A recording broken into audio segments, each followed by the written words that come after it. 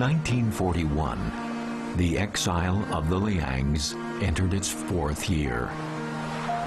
They followed several academic institutions of the nationalist government to the village of Lizhuang on the upper reaches of the Yangtze River.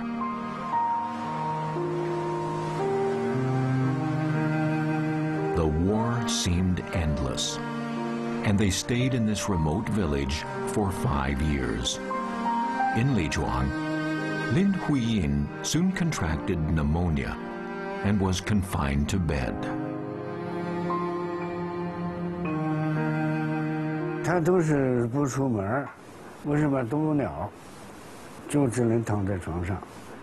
The last researcher to be hired by the institute while in Lizhuang was Luo Zhewen, a 16-year-old who had just graduated from middle school. 有的时候，比如说，可能这个尖儿好啊，把他用那个椅子抬出来，在院里头坐一下，一般他都不出来的。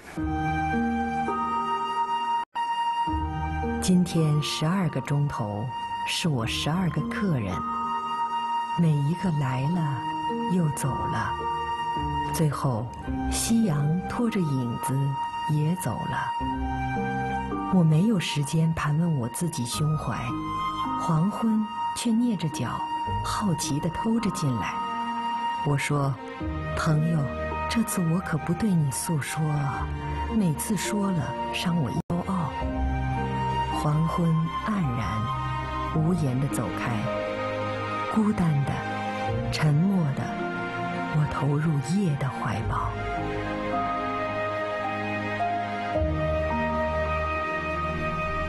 I was weeping over the street when or two sheets of typewritten family letter came in.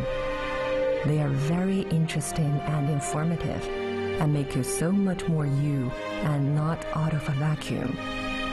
Your long and amusing description of people and things surrounding you, your objective observation on all things, big and small, that are happening and about to put my ego and introspection to shame. Of all the correspondence between the Liangs and the Fairbanks, which lasted more than a decade, the letters from the five years in Lizhuang make up more than half. In this remote village, Lin Huiyin thought more than ever about her faraway friends and the beautiful memories of the past. After coming to Lizhuang, the privately funded institute almost completely lost its source of revenue. The research grant that Liang Sicheng won from the education department in Chongqing barely covered researchers' living costs in the academy. After negotiating with the education department and Academia Sinica, the primary members were transferred to the Institute of History and Philology and the Central Museum, thus earning a modest but stable stipend every month. In 1941, a 100 yuan note could buy a pig, but a year later, only a chicken. During wartime, the most important provisions were the monthly grain rations. In the Nanxi County Archives in Sichuan, we saw a large amount of grain ration grants signed by the chairman of the different institutes.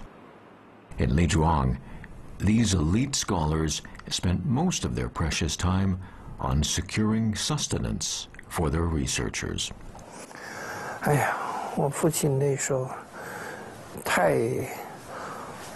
我现在回想起来，我都心疼他。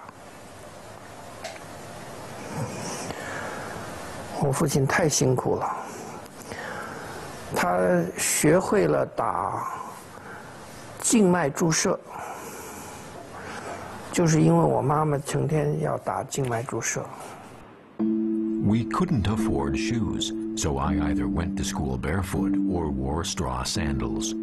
The straw sandals hurt my heels so much that I got abscesses. My father told me to get on a chair and asked, Are you afraid? I gnashed my teeth and said no. He just took a pair of scissors to remove a piece of rotted flesh and poured iodine tincture into the wound. It hurt so bad that I saw stars before my eyes, but I didn't utter a word. He said, Good boy. During the war, Liang Sicheng doctored his son and wife in this way. Our two children very often look like slum kids in Dickens stories. His legs are so beaten and scarred that they don't look like legs at all. The museum in Lizhuang has kept a painting Liang Sicheng gave his children that year. From the window of Long Tochun to the doorway of Lizhuang. May we be able to have a bowl like this after the victory. Wilma Fairbank received this letter from Lizhuang and learned about the condition the Liangs were living in. The paper is of all shapes and sizes, much of it thin, yellow, and decaying, the kind that might have wrapped bits of meat or vegetables brought back from the market. But all have in common that every inch is used. No empty space is afforded for margins or paragraphs, and the final page is often only a half or a third of a page, the rest cut off for other use. Then the number of stamps on the surviving envelopes makes one understand how costly correspondence. At the end of 1940, another scholar of the Institute of History and Philology came to Lizhuang, the younger brother of Liang Sicheng, archaeologist Liang Siyong. Two great findings in the history of Chinese archaeology were made by Liang Siyong. He took part in the excavation of the capital of Yin soon after graduating from Harvard and established the Chinese system of fieldwork in archaeology. Harsh outdoor conditions during the excavations inflicted upon him pulmonary disease. After he moved to Lizhuang, all of his reports were completed from his sickbed.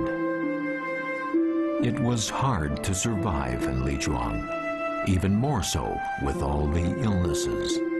Lin Huiyin and Liang Siyong both contracted tuberculosis. The Liangs were struggling.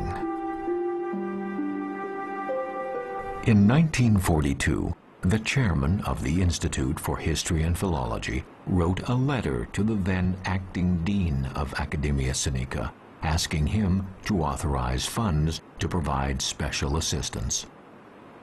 Dear Jia Hua, I write about the matter of Liang Sicheng and Liang Siyong, the sons of Liang Qichao.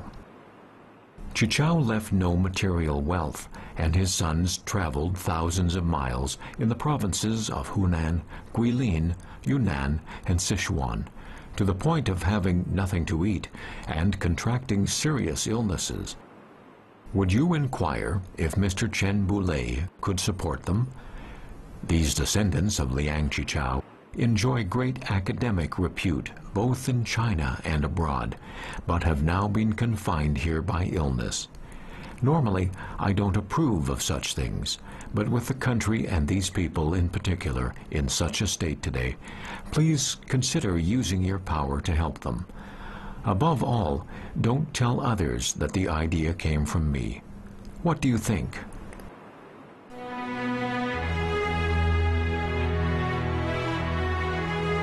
After four months, the chairman of the Committee for Economic Resources of the Nationalist Government replied, Our esteemed general grants medical and academic funding of 20,000 yuan to the Liang brothers. He ordered me to transfer the money to you. Lin Huiyin had mixed feelings upon hearing about this matter. Dear Sir, I was greatly surprised to receive the letter from the government, and I was both moved and ashamed as I read it. Today, many commoners like ourselves are in a forced exile. The Liang brothers received your assistance in many forms for years, and yet we are ashamed as we have made no contribution to the war effort, but only burdened our friends and society. For my three decades of life, I rarely consumed food and given nothing. My life remains an empty check that cannot be cashed. With anxiety, I waited till the children grew up a little. Then the war came, and I had to struggle for survival. Recently, I have been desperate in my illness, undermined both physically and intellectually. I fear I might abuse your goodwill and fail you in the future. I am so ashamed.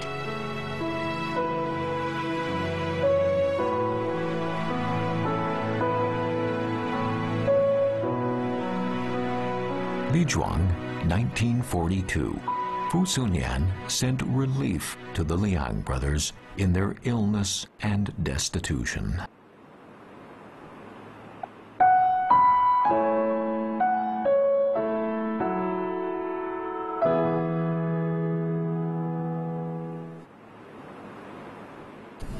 July 1941, half a year after moving to Lizhuang, their dear friend Lao Jin came to Lizhuang from Kunming for his annual vacation. 这里的天气总是变化无常，每次理完发我都要得一次感冒。我好像无时无刻不在增减衣服的状态，时时处在或是刚刚遁入感冒的忧郁中。或是迎来刚刚摆脱一次之后的愉悦。很显然，这实在不是一个能让婚姻恢复健康的地方。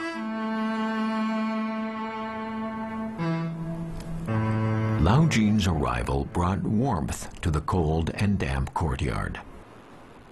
In his letter to John Fairbank, this logician said, I am entirely lost when detached from the Liangs. His life was closely tied to theirs. Another important mission in Lichuang was to finish his book, A Theory of Knowledge, the handwritten manuscript of which had been destroyed in an air raid. 婚姻看上去和一年前一样，依然充满活力，依然侃侃而谈，还是那样执着于寻找艺术灵感， 继续为人性忧虑的同时，挥洒着他的博爱。他无时不在的思想活动让他无法安于病榻，不时的就会像是又在发表演说，一会儿是佛像，一会儿是希腊风格，一会儿又回到他的家庭成员身上。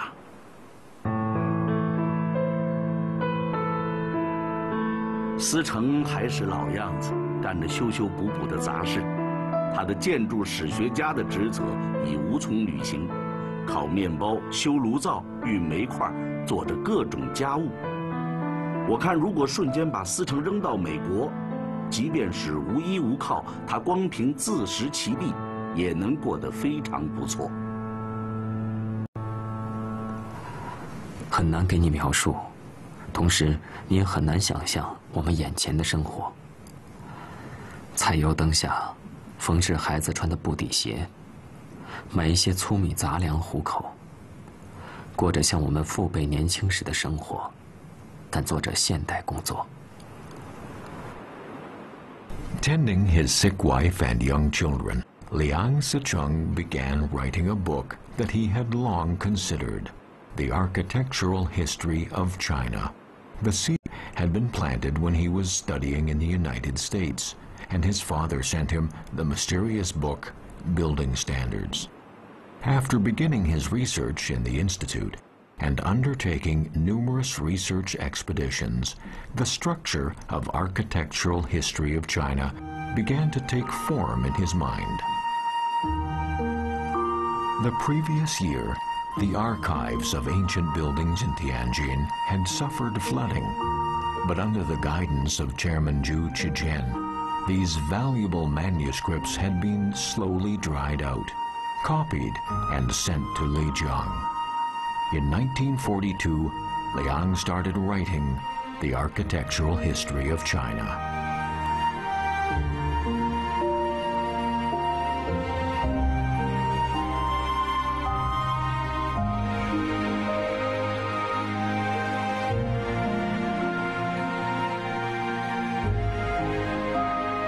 时候，他唯一的一个特权，就是有一盏煤油灯。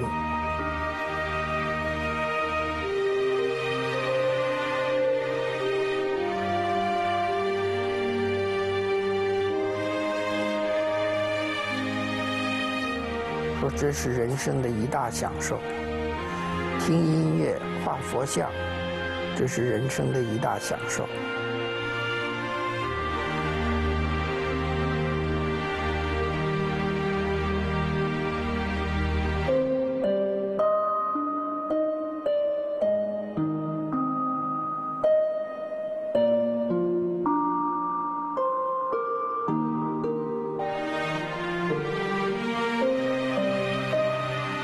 个时候呢，经过从三一年到四零年这个研究，他们积累了多少资料了？积累了近乎两百多个县，两千多个建筑古建筑单元的资料，他们觉得可以来做进行系统的整理、综合的研究。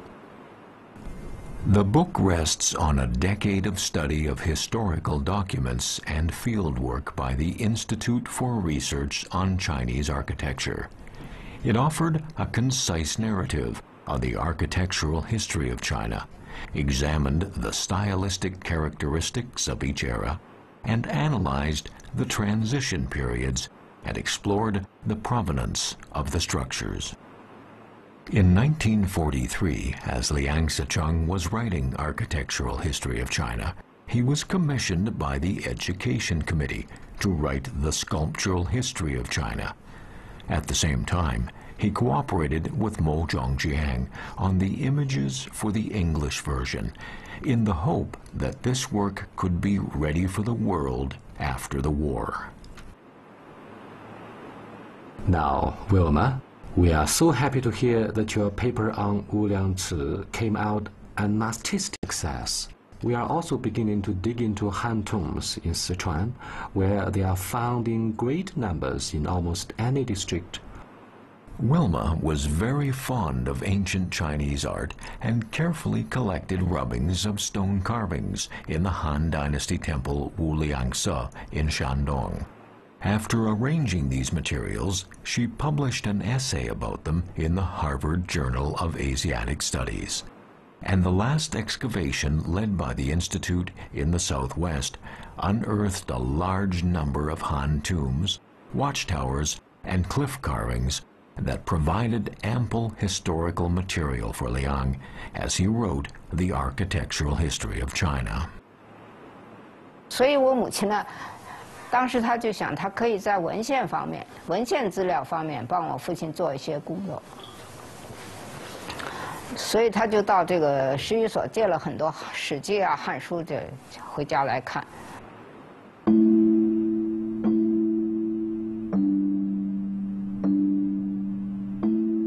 Phyllis is especially interested in your interest in Han tombs and the rubbings combined. Perhaps you do not yet know that she herself has wandered into the Han period. Very privately, with great diligence, she made acquaintances with prominent Han characters, emperors and empresses, generals and ministers, their favorites and their enemies, so much so that she talked about them like her best friends living next door. Moreover, she links them up, their customs, costumes, architectures, and even temperaments. If she keeps on in this rate, she will become an unusually well-informed young lady on Han.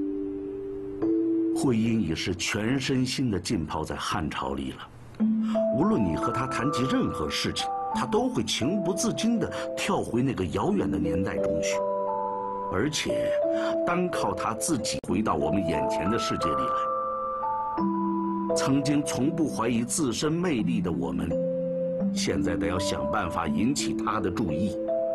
而且非常可怕的是，我们发现，我们是在和他心目中那个遥远年代里的绅士和淑女较量。我们只能希望，当他的灵魂偶尔飘荡回二十世纪的时候，能给我们带回一些惊人消息。On August 11th, 1941, Lin Huiyin wrote a letter to the Fairbanks in which she likened her husband to New York's Grand Central Station. herself to the station manager, and Lao Jin to a passenger who always came and went. Slow-tempered and always prefers to handle any work one item at a time, Sicheng is least capable of taking care of household odds and ends. And odds and ends galore, rushing at him like different train pulling into Grand Central at any time. I'm still the station master, of course, though he may be the station. I might be run over, but he can never be. Lao Jin is that sort of visitor who is either seeing people off or meeting someone at the train, slightly disturbing to the traffic, but make the station a little more interesting place and the station master a little more excitable.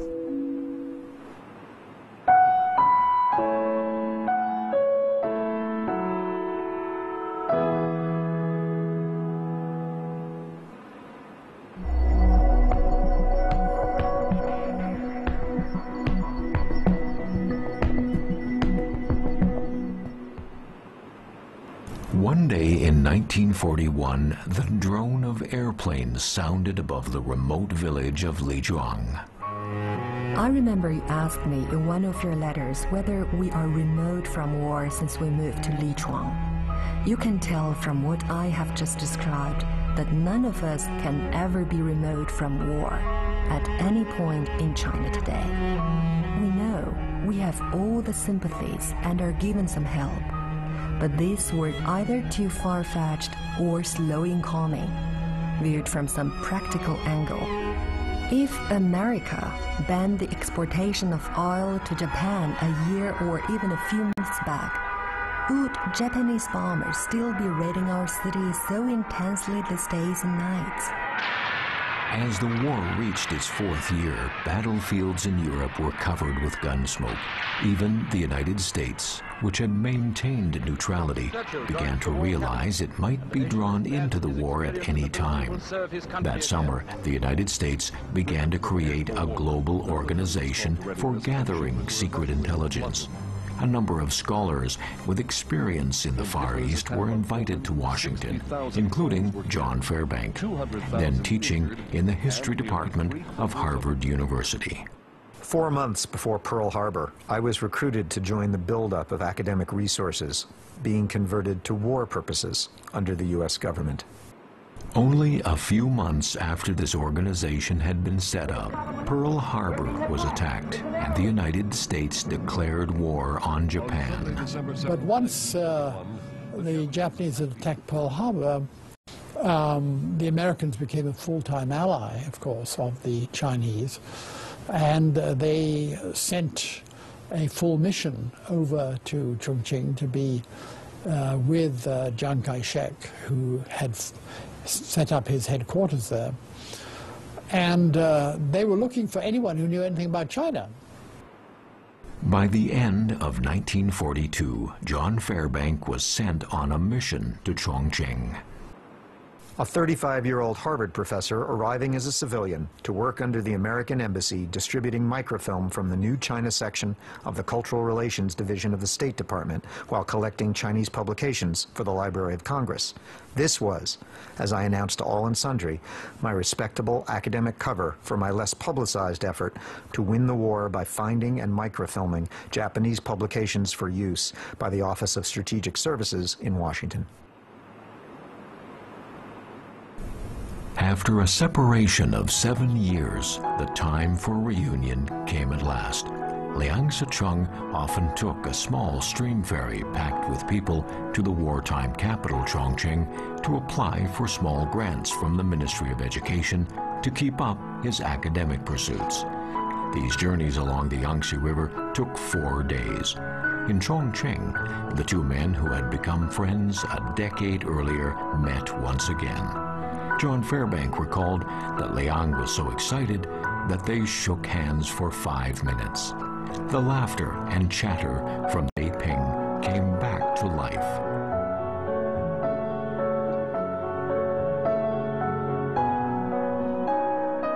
Two months later, John Fairbank took the passenger ferry up from Chongqing to the village of Lizhuang to meet the other dear friend from whom he had been separated for seven years, Lin Huiyin. From the edge of the town, one walks on the narrow stone paths that circle the rice fields.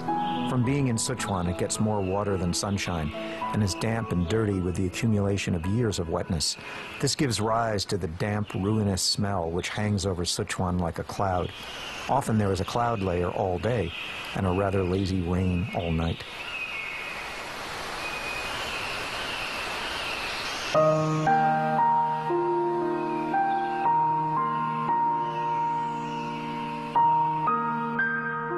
你来了，画里楼阁立在山边，交响曲由风到风，草青到天，阳光投多少个方向，谁管？你，我，如同画里人掉回头，便就不见。Phyllis is very thin.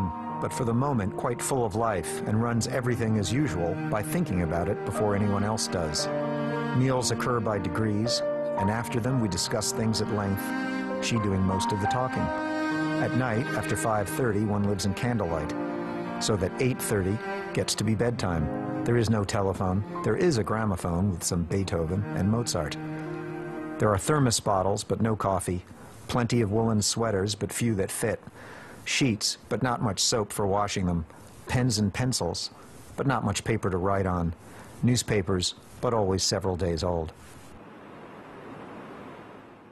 John Fairbank stayed in Lizhuang for a week and visited the several institutions of the Academia Sinica in Sichuan, meeting with old friends.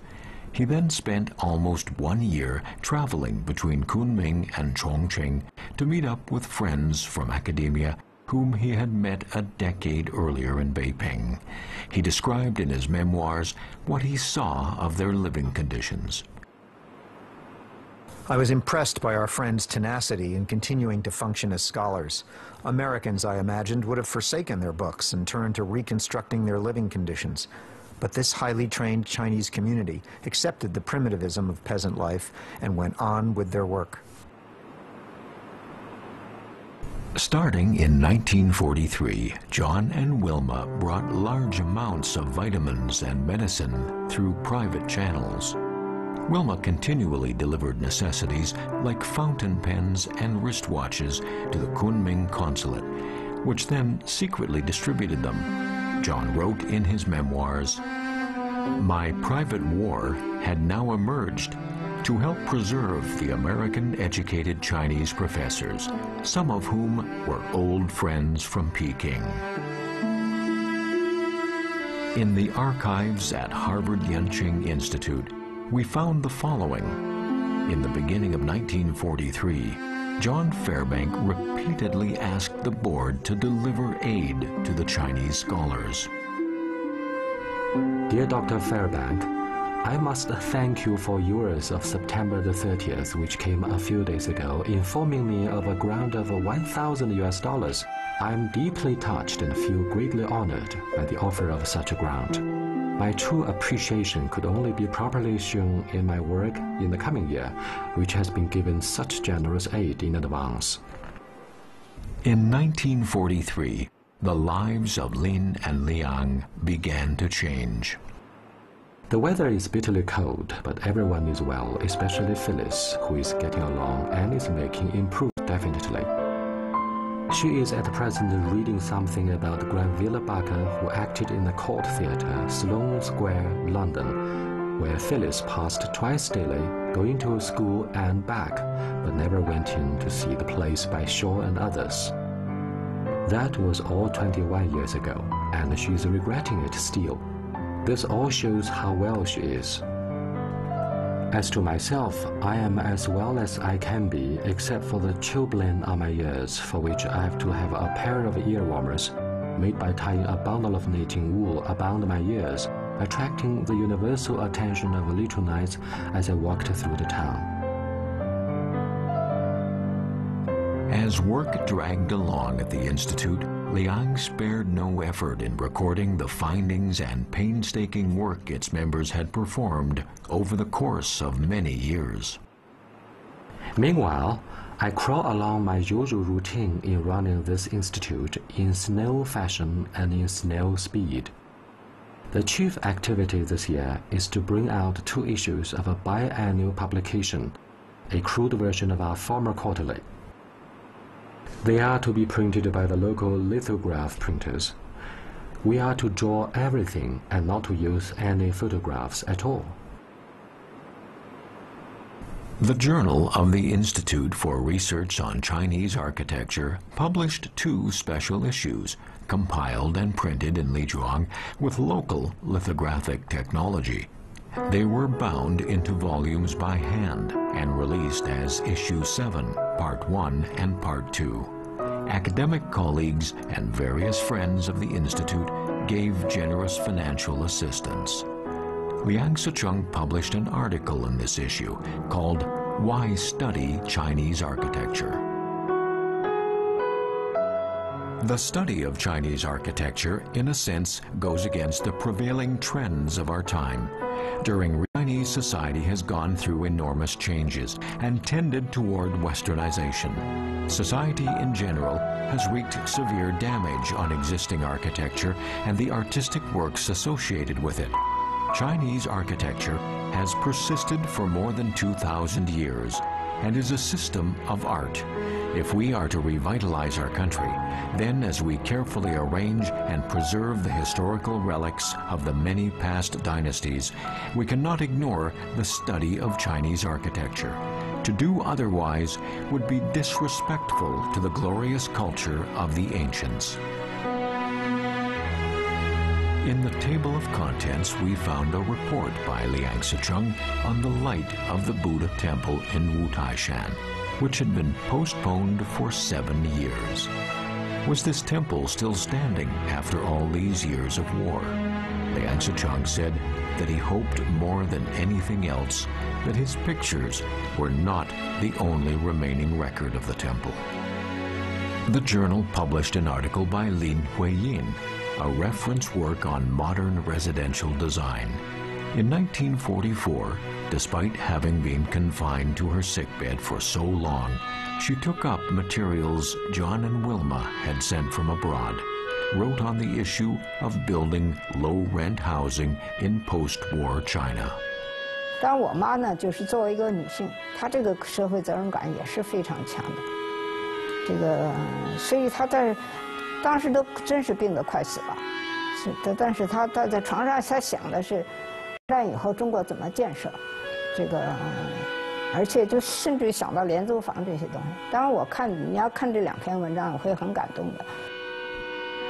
during the long period in Lizhuang, some hope finally emerged for Liang to achieve his old dream of translating the mysterious book.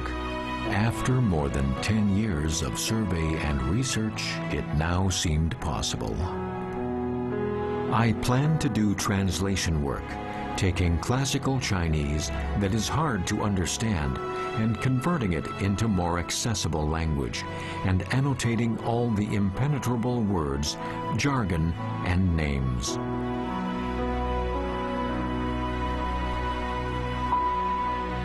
Little did Liang Sicheng know that a Japanese scholar had already begun to decipher building standards. Japanese architect Takuichi Takeshima spent five years to finish his PhD thesis, a study of building standards. At the end of World War II, Japan was heavily bombed, and as he waited for his research to be printed, the two manuscripts were destroyed in a huge fire. In 1944, there was a glimmer of hope in the war. The Department of Education under the nationalist government set up a committee for cultural relics in the war zone, appointing Liang Sicheng vice chairman. During this time, he was responsible for compiling a detailed list of all cultural relics in the war zone. All the names on this list were dear to the heart of this researcher. The list later became the basis for the inventory of all relics that were to be protected in the new China. Another important job for Liang was to compile a list of cultural relics in the North China and coastal regions for the 14th Air Force of the United States. These were marked on military maps so to as avoid destruction during the war. Liang earnestly gave the same designation to the old Japanese cities of Kyoto and Nara. These days, it might be hard to understand that during the worst of times with the war raging, a group of Chinese scholars persisted with their groundbreaking work.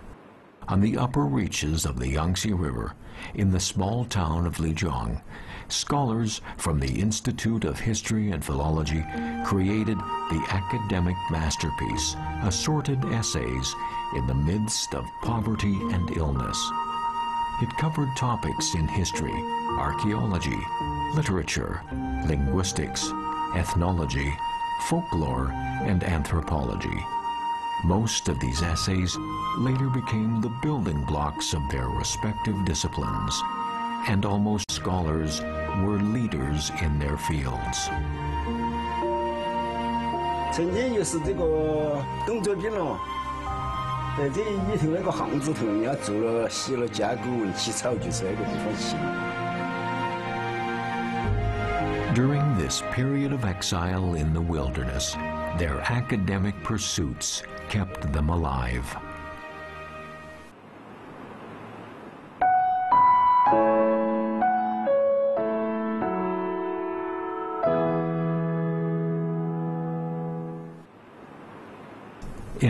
In 1945, five years after Liang and Lin came to Lizhuang, we find in their letters a new kind of anticipation, full of hope.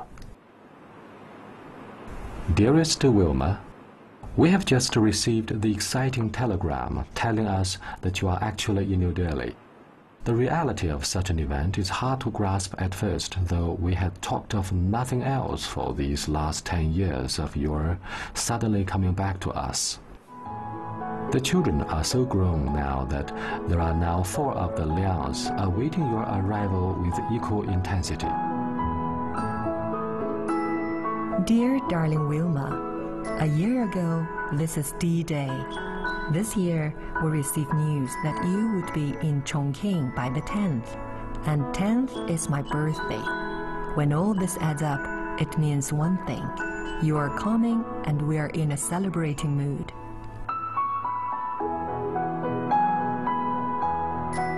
Dearest Aunt Wilma, I have got your dear letter.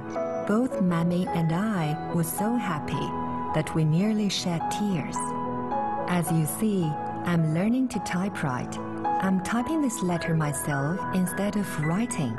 This typewriter ribbon is given us by a man called John Fairbank. Perhaps you know him.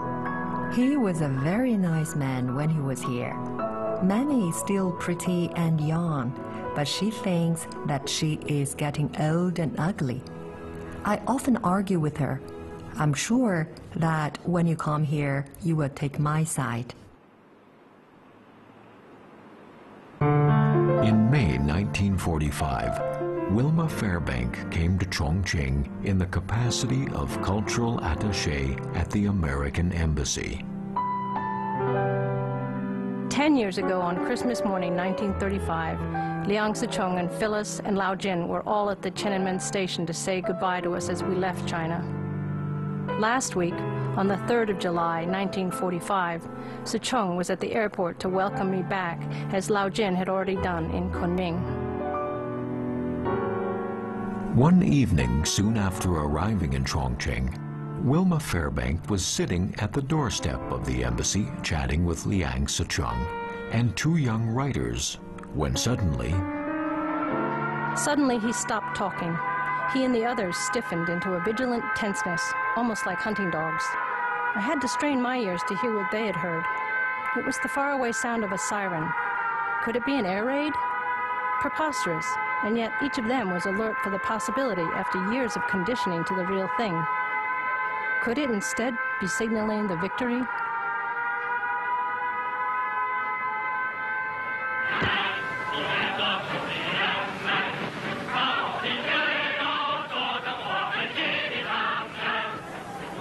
Very quickly, the news of victory spread like wildfire around the whole city.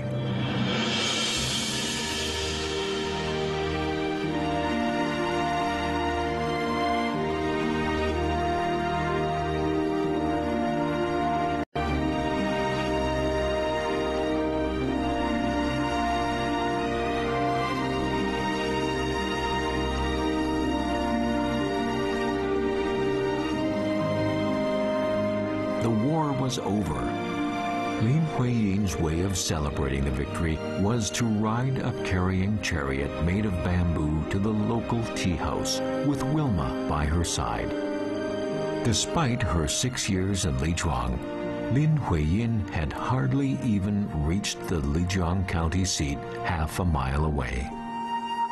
I went to town again by chair and took a boat punted by two of Taiping's boyfriend and went to a restaurant for noodles and setting another tea house to get a rest and returning by way of the football field and watched a volleyball match from a tea shed on the bank, etc. I also visited Taiping School the day before wearing slack and very elegant and caused a sensation. A poem they had taught their children during the hard times in Lizhuang now appeared in front of their eyes. 剑外忽传收蓟北，初闻涕泪满衣裳。却看妻子愁何在，漫卷诗书喜欲狂。白日放歌须纵酒，青春作伴好还乡。即从巴峡穿巫峡，便下襄阳，向洛阳。In December 1945, Wilma Fairbank arranged for Lin to leave Lizhuang, where she had been living for five years, and go to Chongqing. Wilma took Lin around by jeep to watch movies, to see the school where her son was studying, and to dine in the mess hall of the American Embassy. There, she would excitingly engage in discussions with the Allies and even take part in a meeting between the Communists and the Nationalists held at the News Bureau of the Embassy. The Liangs are here. Phyllis is out of her room in Lizhuang for the first time in five years. She walked into our living room and gasped, It's just like walking into a magazine. For it is only in magazines that she has seen open fires and shaded lights in these last years. Everything is new and exciting to her, and she constantly keeps her eyes peeled for the new dresses and books and paintings and all the sights of this, to her, great city of Chongqing. Unfortunately, all this doesn't mean that she is better. I took Dr. Eloesser to see her, a famous chest surgeon, and he told me that both lungs are involved, as well as the kidney, and that it is just a matter of a few years, perhaps five, before her brief but vivid life must come to an end. Still, she is full of vivacity and responsive to all facets of life, and will probably be that way to the end.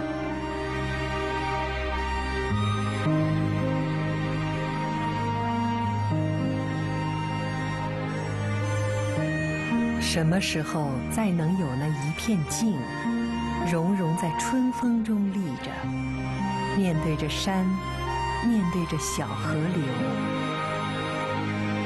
什么时候， 不什么时候，心才真能懂得这时间的距离，山河的年岁？